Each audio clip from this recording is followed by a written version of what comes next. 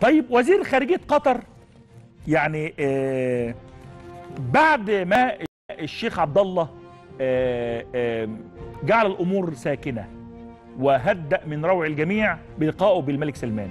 وزير خارجية قطر خالد العطية يعني بيقوم بعمل أكثر من دنيء بيلمح إلى إنه آه، قطر سوف تحدث للحجيج الخاصين بها أو التابعين لها اعتداءات في فترة موسم الحج وكأنه بيقرأ الطالع أو كانه لديه معلومات من جهات سوف تقوم بذلك.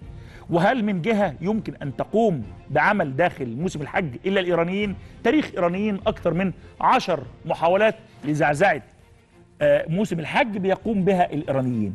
لذلك آه، خالد العطية عندما يتحدث بهذا الشكل فأنا أرى إنه آه، يعني لديه معلومات أو بيقرأ الطالع لكن في النهاية محمد بن عبد الرحمن الثان آه، قال في مؤتمر صحفي مع وزير خارجية السويد في ستوكهولم بالنسبة لما جاء من حديث عن وساطة أو غيرها فحسب المعلومات التي وردتنا ده هو اللي بيقول وزير خارجية قطر فإن الشخص الذي كان موجودا بيتكلم على مين؟ على الشيخ عبد الله الثان بمصطلح الشخص الذي كان موجودا هناك في السعودية فكان موجودا هناك بشكل شخصي ولمواضيع شخصية وهذا من الطبيعي إذا طلبت إحدى الأسر الحاكمة سواء موعدا سواء كان في دولة قطر أو في أسرة السعود فاستقبله سمو الأمير. يعني هو لما طلب مقابلة الملك سلمان عادي أنه يقابله.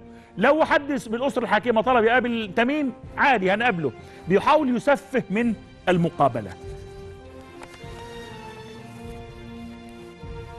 يعني الشيخ عبد الله ألفان وخالد العطية الأول أجهض مخططات قطر لتسييس الحج والثاني فتح دولته للاحتلال التركي. يعني شوفوا ده في الأسرة الحكيمة. واحد فتح خلاص ال ال الأرجواء القطرية والأراضي القطرية أصبحت مفتوحة بشكل كامل أمام ال- القوات التركية والإيرانية.